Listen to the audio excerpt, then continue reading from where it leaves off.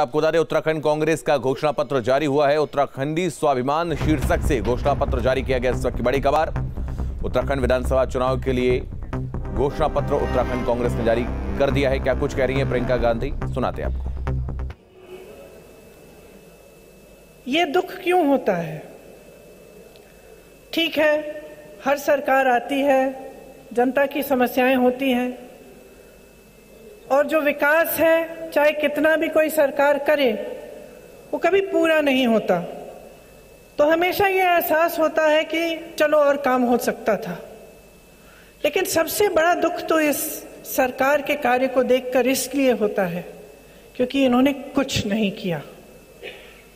इन्होंने जितने बड़े बड़े वादे आपको दिए, जितनी आशा से, उम्मीद से आप सबने इनका समर्थन किया। उसको तोड़ दिया है। जहाँ जहाँ मैं जाती हूँ, बहुत स्पष्ट होता है कि पिछले पाँच सालों में कुछ काम नहीं किया गया। पिछले पाँच सालों में सिर्फ़ जो आपकी उम्मीदें हैं, वो टूटी। जो आपको वादे किए थे, वो टूटे। जो पहले काम किया गया था, वही आज दिखता है। जो हमारी सरकार के दौरान विकास का कार्य था, वही आज है। उससे आगे कुछ नहीं किया गया। हाँ चुनाव आता है तो बड़ी बड़ी घोषणाएँ फिर से होती हैं। उद्घाटन होने शुरू होते हैं। और जो प्रोजेक्ट आपने पाँच सालों से नहीं किए, उनका उद्घाटन आप आज कर रहे हैं ये दिखाने के लिए कि बहुत बड़ी बड़ी चीज़ें की गई हैं। इस सरकार ने जितना पैसा, जितना धन विज्ञापनों में खर्चा है, कि सिर्फ़ यहाँ उत्तराखंड में नहीं सिर्फ़ उत्तर प्रदेश में नहीं, दिल्ली में उत्तराखंड और उत्तर उत्तर प्रदेश के विज्ञापन दिखते हैं। इतना खर्चा होता है इन पर, लेकिन जो आपकी समस्याएँ हैं, उनको हल करने के लिए इनके पास पैसे नहीं है, कहते हैं। जब हम घोषणा करते हैं कि हम कुछ करना चाहते हैं, वो सवाल उठाते हैं कि पैसे कहाँ से आएँगे? सच्चाई ये है कि पैसे हैं। सच्चाई ये है कि रोज़गार के लिए खाली पद हैं। सच्चाई ये है कि सरकार की नीयत ठीक नहीं है। अगर ये करना चाहती थी तो कर सकती थी। सच्चाई ये है कि आपको डबल इंजन की सरकार का वादा किया, लेकिन आज स्थिति इन्होंने ये बना दी है कि पेट्रोल, डीजल इतना महँगा है, इनका ही इंजन ठप हो गया है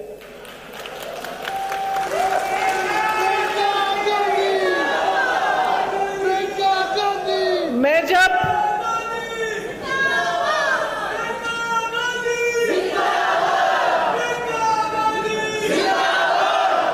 मैं जब अपनी बहनों से मिलती हूँ, वो मुझे बताती हैं कि कितनी परेशान है। और इसीलिए जब आपने आपने नारा आप कह रही थी, लड़की हूँ, लड़ सकती हूँ तो क्यों आप खुश होती हैं इस नारे को सुन के? क्योंकि आप जानती हैं कि आपका जीवन संघर्ष का जीवन है।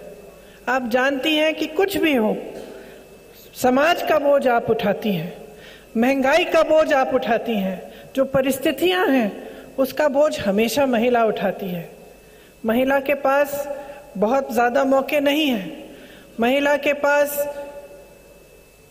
उसको हमेशा घर भी देखना पड़ता है। चाहे वो बाहर जाके खेती में काम करे, वो घर आएगी, वो घर को भी संभालेगी, परिवार के सदस्यों को देखेगी, वो सुखी हैं, वो अच्छे हैं कि नहीं हैं।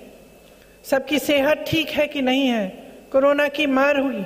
सबसे ज़्यादा बोझ फिर से आपने उठाया। लेकिन आपको पूरी तरह से नकारा जाता है। जब नेता, राजनीतिक पार्टियाँ बात करती हैं तो महिला की बात नहीं करती।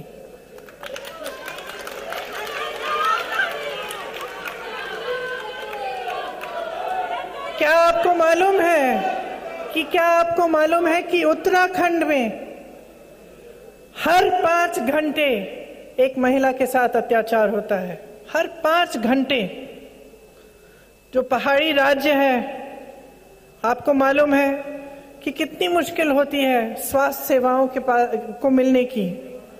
जब आप बीमार पड़ती हैं, गर्भवती होती हैं तो अक्सर आपको बहुत दूर जाना पड़ता है डॉक्टर से मिलने के लिए या अस्पताल से कोई सुविधा लेने के लिए। क्या किया इस सरकार ने आपके लिए?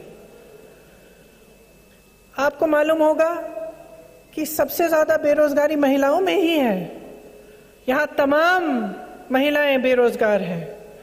आशा बहुएँ, आंगनवाड़ी की महिलाएँ, उनका उनका मानदेय बढ़ाया भी नहीं गया। कितना समय हो गया है, साल हो गए हैं, और उनका मानदेय वहीं का वहीं है। मैं जानती हूँ, उत्तर प्रदेश में काम करती हूँ, वहाँ आशा बहनें जो हैं, आंगनवाड़ी की बहनें जो हैं, खूब परेशान हैं, संघर्ष करती हैं। जब अपनी आवाज़ उठाती हैं तो पीटी जाती हैं। उनको जेल में डाला जाता है। उन पर रासुका का कानून का, रासुका की धाराएँ लगाई जाती हैं। तो आप सोचिए कि कैसी सरकार चल रही है। हर जगह बेरोजगारी है नौजवान बेरोजगार है। हम बेरोजगारी की बात नहीं कर रहे हैं चुनाव के समय। यहाँ के जो राजनीतिक दल हैं जो सरकार चलाते हैं क्या बात करते हैं? यहाँ आकर धर्म की बात करते हैं जाति की बात करते हैं रोज़गार की बात नहीं करेंगे। ये आपको नहीं बताएँगे कि रोज़गार कैसे दिलवाए हैं। या कैसे दिलवाएँगे? कभी नहीं बताएँगे। ये नहीं दिलवा, बताएँगे कि पिछले पाँच सालों में इन्होंने कितने रोज़गार दिए? क्योंकि दिए ही नहीं। क्योंकि खाली पद पड़े हुए हैं। तो शिक्षा के बारे में, आपके लिए सुविधाओं के बारे में कौन सोच रहा है? ये सरकार का काम होता है। सरकार का काम है आपको सुरक्षित रखना और आपके जीवन को अच्छा बनाना। अगर आप आज भाजपा की पाँच साल की सरकार के बारे, के बारे में सोचें अपने मन में झाँक के सोचें कि उन्होंने क्या किया आपके लिए। क्या आप आगे बढ़ पाए? क्या आपके जीवन में कोई सुविधा आई? क्या पहले से कोई आसानी हुई आपको जीवन जीने में? या आप और भी त्रस्त हो गए? चाहे महँगाई हो चाहे हमारे किसान भाई हो आपने देखा कितना आंदोलन किया यहाँ मैं जानती हूँ गन्ने का जो बकाया है, उसकी इतनी बड़ी समस्या है। अब आप सोचिए, पूरे देश भर में जो गन्ने का बकाया है, कितना है? चौदह हज़ार करोड़, ठीक है? प्रधानमंत्री जी ने अपने लिए दो हवाई जहाज़ खरीदे। कितने के? सोलह हज़ार करोड़ के। प्रधानमंत्री जी के दो हवाई जहाज़ के खर्चे में पूरा गन्ना का बकाया हो हो सकता था, पूरा हो सकता था, लेकिन उन्होंने क्या चुना? अपने लिए दो हवाई जहाज़ खरीदे। लेकिन ये आप मीडिया में नहीं देखेंगे, क्योंकि उनकी आलोचना तो मीडिया में होती नहीं है, आप तक ये बातें पहुँचती नहीं है। आप जानते हैं कि किसानों को कितनी परेशानी है, कितना त्रस्त है। आज खाद नहीं मिलती है उनको, तमाम मुश्किलें हैं। पेट्रोल डीजल के दाम जो है इतने बढ़ गए हैं उससे किसानों पर कितना असर पड़ता है? कोरोना आया मैं जानती हूँ कि कितने लोग उत्तराखंड से दिल्ली में काम करते हैं। किस तरह से उनको कांग्रेस पार्टी ने वापस पहुँचाया मैं जानती हूँ कि उनको वहाँ पे भगवान पर भरोसे छोड़ दिया गया। आ, एक दिन से दूसरे दिन बताया गया लॉकडाउन है। खुद संभालो कैसे पहुंचोगे पैदल पहुंचो? हमने कहा, बसों के कहा हम इंतज़ाम करेंगे। उत्तर प्रदेश के जो प्रवासी थे, उनके लिए हमने कहा, हम बसों का इंतज़ाम करेंगे। उसको भी मना कर दिया। आपको मालूम नहीं होगा, लेकिन जो ऑक्सीजन की कमी है, उसकी कोई ज़रूरत नहीं थी। हमारा देश दुनिया के सबसे बड़े ऑक्सीजन मैन्युफैक्चरर्स में से है। हमारे देश में जितना ऑक्सीजन बनता है, वो पूरे देश के लिए काफ़ी था। हर अस्पताल में पहुँच सकता था। 2020 में कोरोना आया। दूसरी लहर 2021 में थी। आपके पास एक साल था।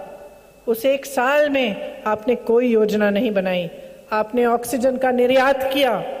आपने वैक्सीन का निर्यात किया। और जब समय आया तो हिंदुस्तानियों के पास ना वैक्सीन थी और ना ऑक्सीजन।